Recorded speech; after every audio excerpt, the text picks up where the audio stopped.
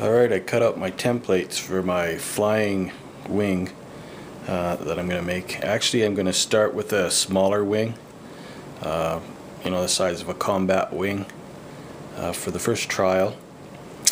And then uh, I'm going to make a lot much larger FPV type wing uh, if the first uh, wing turns out well.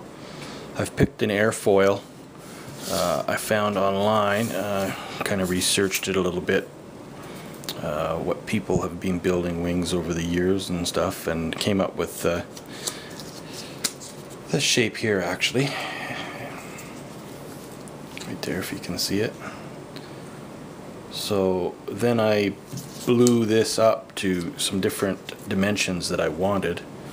Um, this will be for the bigger FPV uh, root of the wing and this will be the the tip. And then I thought instead of building the big one first I'll just build a smaller one. Uh, so I'll use this as a the tip and this will be the root. Probably around uh, I don't know 34 36 inch wingspan something like that. Um, just a casual kind of a little fun fly wing. Uh, and just to show you, I've been cutting out foam wings for years now. I've got a wire bow that homemade that I made and a power supply and stuff. And I used to always cut them out of, this is actually door skin material, you know, from a just a regular house door. So I think it's might be mahogany, I'm not sure.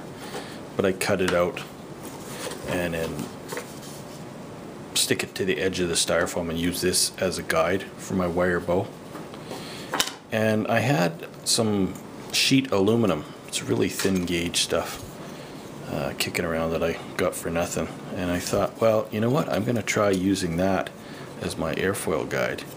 So as you can see, it's super thin, but I think it'll be just fine.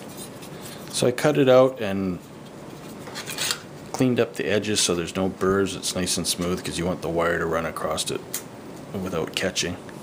And the part I like most about it is I actually, uh, this one I usually use my scroll saw or a bandsaw or something to cut it out. And this, these uh, tin snips work just great. It took me like, oh, I don't know, a tenth of the time it would to, to cut out these wooden ones. So all I have to do is punch some pinholes in so I can pin the template to the side of the styrofoam. Um, I don't know if I'll uh, videotape the actual cutting of the styrofoam, but once I get to that point, I'll probably uh, maybe make a before and after shot or something like that. But I just wanted to update you that I'm uh, found some airfoils and I think I'm gonna go for it now.